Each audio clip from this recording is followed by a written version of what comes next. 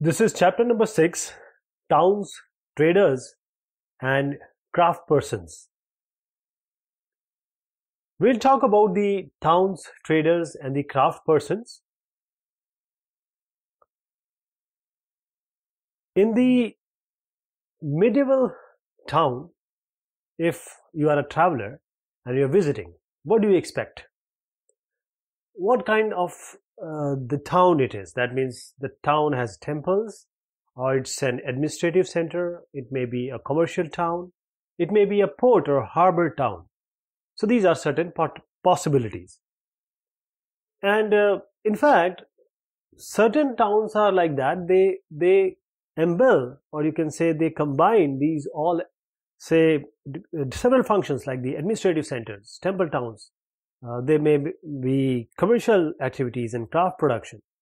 So this is an example of some important centers of trade and artisanal production in central and south India. If you see this, we have already discussed about this Madurai, Tirupur, uh, Tirupati and Tanjavur, etc.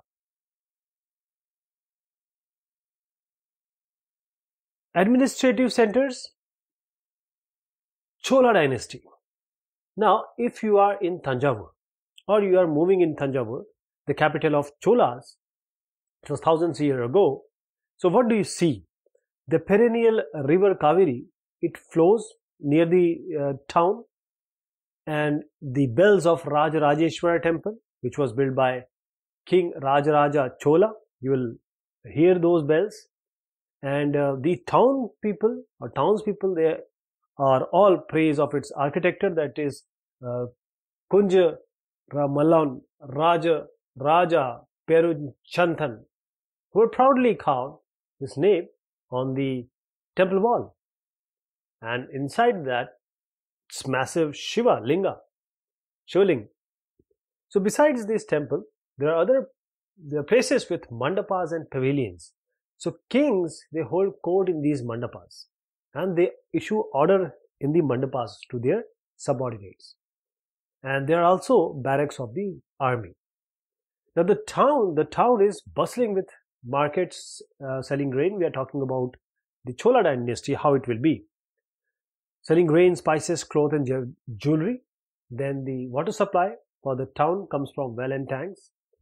And the Salia weavers of Tanjavur and the nearby town of Uraiyur, they may be busy producing cloth for flags to be used in temple festival or fine cottons of the king and nobility and coarse cotton for the masses, other people than the elite one. And some distance away at Swami Malai, the Sthapatis, or you can say the sculptors, they might be making ex exquisite bronze idols and or you can say tall ornamental bell metal lamps. So when we say temple towns and pilgrim uh, pilgrimage center, as we just saw that this this is about the administrative center, we saw about a case study of Chola dynasty. Now, the temple towns and pilgrimage centers. Tanjavur is, of course, an example of temple town. And this temple town, it represents very important pattern of urbanization, urban settlement, the process by which these cities actually develop. And the temples are actually the central point to the economy and society. So rulers, they build temples in order to show their devotion, also uh, to show their might. So they also endowed temples into grants of land and money to carry out various rituals. They feed pilgrims, priests, and celebrate festivals. So, pilgrims who flocked to the temples, they also made certain donations.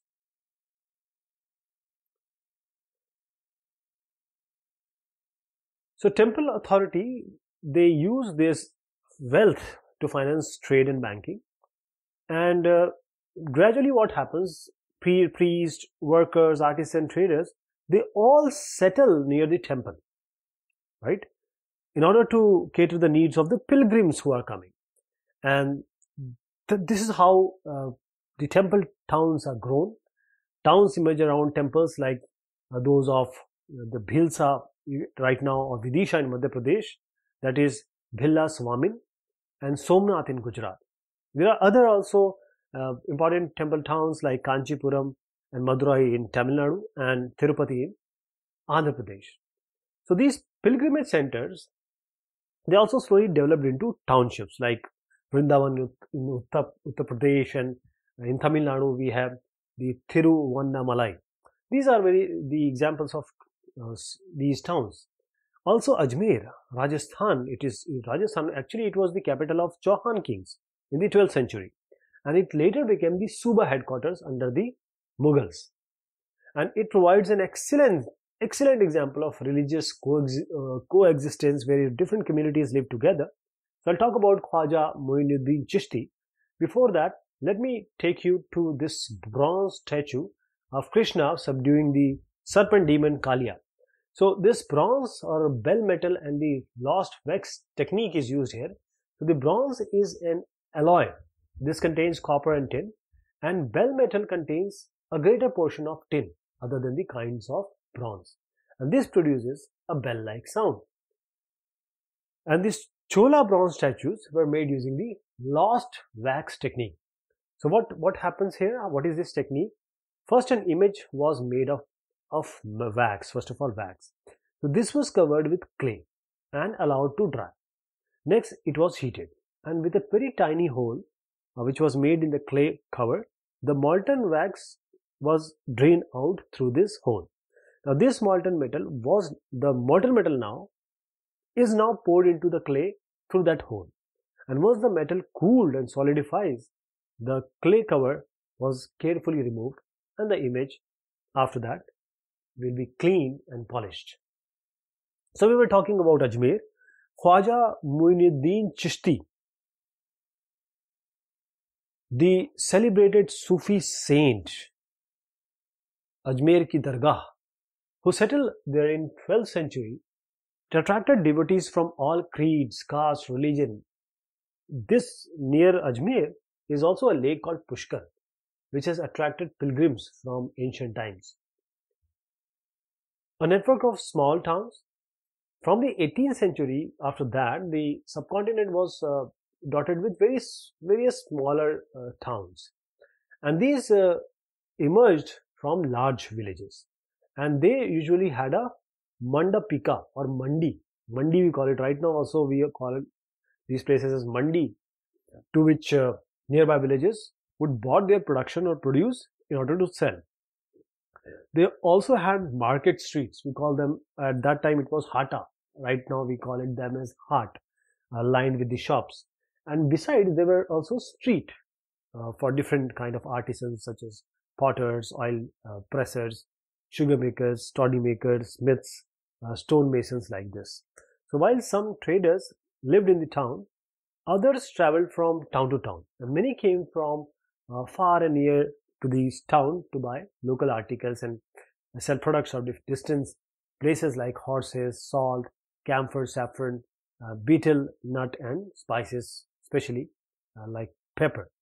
So this is a city market diagram. If you see, this is how it would um, look like at that time. So usually there was a samant or in later times a zamindar. He built a fortified palace in or near these towns and they levied taxes on the traders, artisans and articles of trade and they sometimes donated the right to collect these taxes to local temples and these temples which had been built by themselves by or by some rich merchants. So these rights were recorded in inscriptions that have survived today also. Here is a picture of a wood carver. And uh, there was something on market taxes market on taxes which we know by now. Uh, the, this is the summary from 10th century inscription from Rajasthan which lists that uh, the dues that were to be collected by temple authority so it was inscripted so we know what was taken at that time. So there were taxes in kind so there can be kind or cash so kind can be sugar and jaggery dyes thread and cotton on coconut uh, salt areca nuts butter sesame oil and on cloth and beside there were taxes on traders also on those who sold metal goods butter goods or distillers or oils on cattle fodder and on loads of grain and some of these taxes were taken in cash, somewhere in kind. Now there were big and small traders. There were many kind of traders as we said and this includes the Banjaras also and several traders especially the horse they horse traders they call they were called as they actually formed associations with headmen who negotiated on their behalf with the warriors who bought horses and since these traders had to pass through various kingdoms and forests and various uh, hostile areas they usually traveled in caravans and uh, formed guild in order to protect their interests.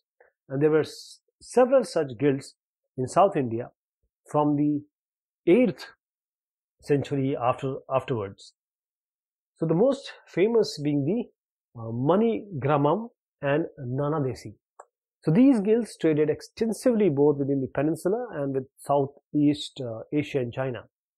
So there were also uh, communities like the Chettiars and the Marwadi Oswal, who went on to become the principal trading groups of the country. And you also know that they are still, apart from the Gujarati traders, including the communities of Hindu Baniyas and Bohras, Muslim Bohras, uh, they traded extensively with the ports of Red Sea, Persian Gulf, East Africa, South East Asia and China. So they actually sold textiles and spices in these ports and in exchange bought gold and ivory from Africa and spices and tin, uh, Chinese blue pottery and silver from Southeast China, Asia and China. So the towns on the west coast were home to Arab, Persian, Chinese, Jewish, and Syrian Christian traders. So Indian spices and cloth sold in the Red Sea ports were purchased by Italian traders, and eventually they, uh, you know, sell it to the European markets, and they would fetch high profits. Spices which are grown in tropical climates like ours, uh, which are pepper, cinnamon, nutmeg, dried ginger, they become an important part of European cooking also. Not even in our cooking, but Euro European cooking. And the cotton cloth was very attractive. And this eventually drew the European traders to India. And uh, we will talk about them shortly. Let us see about Kabul. With its rugged and mountainous landscape and you know hilly terrain, undulated uh, land frames, Kabul, which is actually in present-day Afghanistan, became politically and commercially important from the 16th century afterwards. So Kabul and Kandahar, they were linked to the celebrated Silk Route. And besides that, trader in horses were primarily carried on through this route only. So in this, in the 17th century, Jean-Baptiste uh, Tavernier, a diamond merchant, estimated that the horse trade at Kabul amounted to rupees 30,000 annually, which was a huge sum in these uh, those days. So camels carried dried fruits, dates, carpets, silks, and even fresh fruits from Kabul to the subcontinent and elsewhere. And slaves were also bought here for sale. See, sales of slaves were there.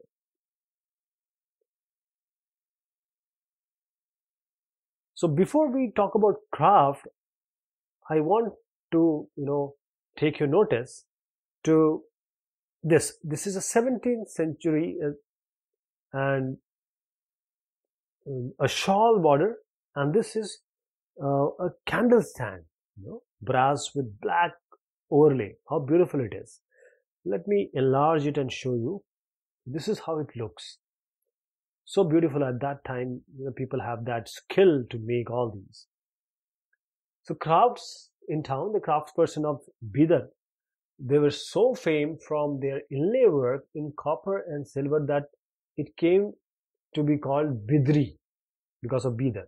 So the Panchalas or Vishwakarma community consisting of the goldsmith, bronzesmith, blacksmith, mason and carpenter they were essential to the building of temples. They also played an important role in the construction of palaces, big buildings, tanks, and reservoirs. Apart from that, weavers such as Saliar or Kai Kolars, they also emerged as prosperous communities. They, all, they were making donation to temples. So some aspect of this cloth making like the cotton cleaning, spinning and dyeing, they actually became specialized in independent crafts because of the need of that hour.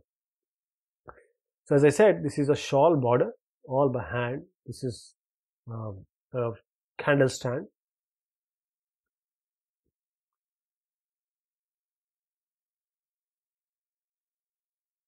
The changing fortunes of town.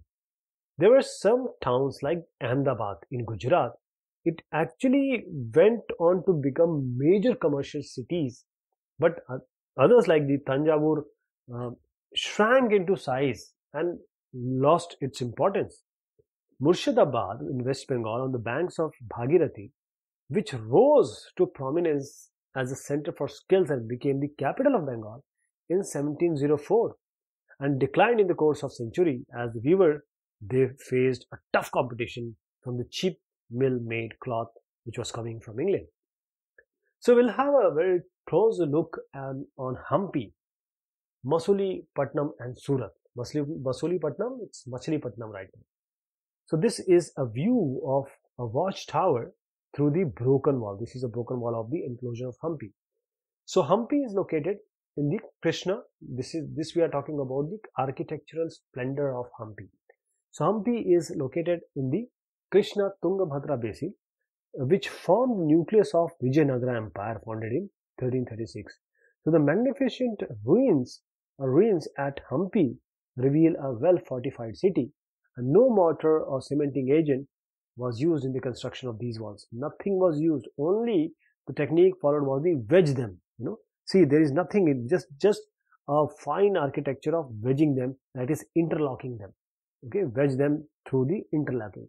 No mortar or cementing was used. So the architecture of Hampi was distinctive. The buildings of the royal complex had splendid arcs, domes, and pillared halls with niches for holding sculpture. They also had well planned orchards and uh, pleasure gardens with sculptural motifs such as the lotus and the corbels. Uh, in its heyday in the 15th century, 15th, 16th centuries, Hampi bustled with commercial and cultural activities. Moors, this is for Muslim merchant, merchants, Moors, the name collectively used for them, chetties and agents of European traders uh, like the Portuguese, they throne the market of Hampi. So this is uh, a fortified city. A Portuguese traveler, Domingo Paes, he described this Hampi in 16th century like this. I at the entrance of the gate where those uh, pass who come from Goa, this kind had made within it a very strong city fortified with walls and towers. And these walls are not like those of other cities, but are made of very strong masonry, such as um, would be found in few other parts, and inside very beautiful rows of buildings made after their manner with flat roofs. So the temples, if you see this, this is a stone chariot, Vithala temple. Is a stone chariot. So temples were hub of cultural activities and Devadasis, the dancers, they performed before the deity, royalty and masses in the many pillared halls in the uh, Virupaksha, that is a form of Shiva temple. So the Maha Navami festival, we also know it, it today by the name of Navaratri in south, was one of the most important festivals celebrated at Hampi. So archaeologists they have found that the Mahanavami platform where the king received guests and accepted tribute from the subordinate chiefs. This was the occasion. And from here, he also watched performances like the uh, dance, music, and wrestling bouts. So Hampi fell into ruin uh, following the defeat of Vijayanagara in 1565 by the Deccan, a Deccani uh, sultans, the rulers of Golconda, Bijapur, Ahmednagar, Berar, and Bidar a word will come which is emporium. So what is emporium? Emporium is a place where goods from diverse production centers are bought and sold. This is emporium. So Surat, this is the gateway to the west. Surat in Gujarat was the emporium of western trade during the Mughal period along the Cambay. That is Khambat. Today's Khambat. And somewhat later Ahmedabad. So Surat was, uh, Surat was the gateway for trade with West Asia by the Gulf or Hormuz and Surat have also been called the gate of Mecca because many pilgrim ships set sail from here. So the city was uh, cosmopolitan and people of all caste and creed lived there. In the 17th century, the Portuguese, Dutch and English have their fort factories and warehouses at Surat. So according to the English chronicler Ovington, who wrote an account of the port in 1689, on average, a hundred ships of different countries would be found and anchored at the port at any given time. Hundred, see.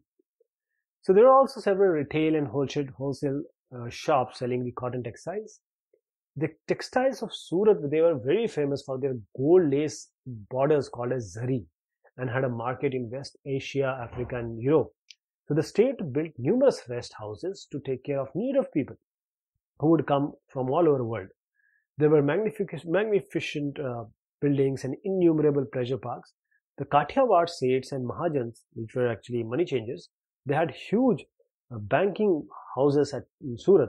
It is noteworthy that the Surat hundis were honored in the fair far-off markets of the Cairo in Egypt. See, hundis were what is what was hundis? Hundis is a note recording a deposit made by a person. So the amount deposited can be claimed in another place by presenting the record of the deposit. So it is that the Surat hundis were so much honored far off markets of Cairo and in Egypt, Basra in Iraq and Antwerp in Belgium, they were accepted. But Surat began to decline towards the end of 17th century and this was because of many factors. First of all, the loss of markets and uh, productivity because of the decline of Mughal Empire. Control of the sea routes by the Portuguese and competition from Bombay, that is present day Mumbai, where the English East India Company shifted its headquarters in 1668 and today Surat is bustling commercial center.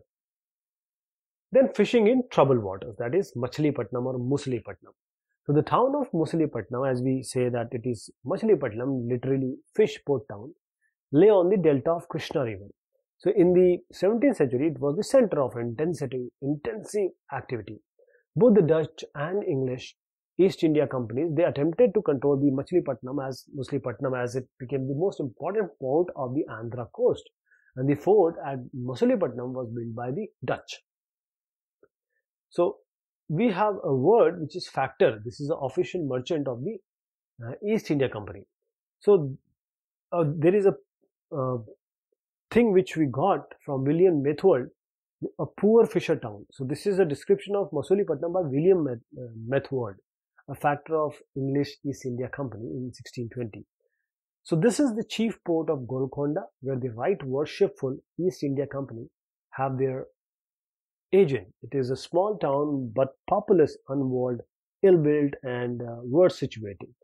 Uh, within all the springs are brackish. It was first a poor fisher town. Afterwards, the convenience, convenience of the road, that is a place where ship can anchor, made it a residence for merchants and so continues since our and the Dutch nation frequented this coast.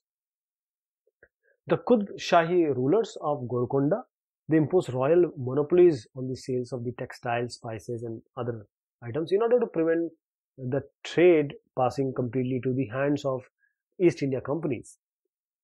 And fierce, fierce competition among these uh, various trading groups Golconda nobles, Persian merchants, uh, Telugu Komati, Chettis, and European traders made the city more populous and prosperous.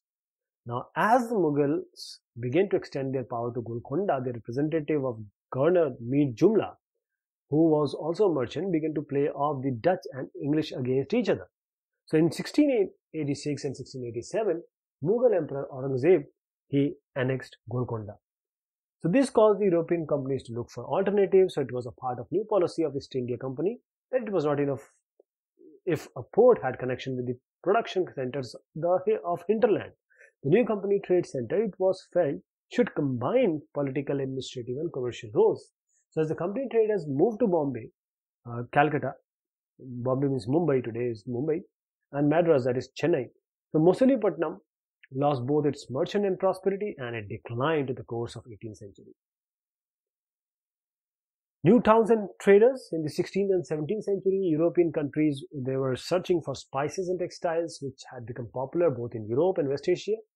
So the English, Dutch and French, they formed East India Company in order to expand their commercial activities in the East. So initially great Indian traders like Mullah Abdul Ghaffar and Virji Vohra, actually they owned a large number of ships, competed with them. But later the European companies use their naval power to gain control over the sea trade and force the Indian traders like these to work as their agents.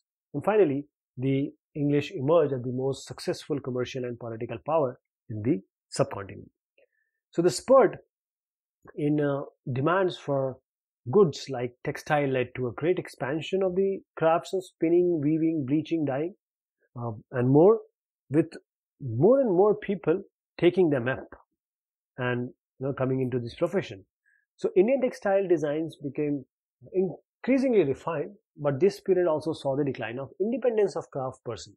They have to do or they have to make only what these people want them to make. So the 18th century saw the rise of Mumbai, that is Mumbai, uh, Kolkata, Chennai, that is Bombay, Calcutta and Madras, which were nodal cities today. Till now, crafts and covers underwent major changes as merchants and artisans like the uh, weavers they were moved into the black towns established by the Europeans company with these new cities. The blacks or native traders and craftspersons were confined here while the white rulers occupied the superior residences of Fort St. George in Madras or Fort St. William in Calcutta. The story of craftsperson we are going to see later. This is a Bombay street early 19th century, it would have been like this.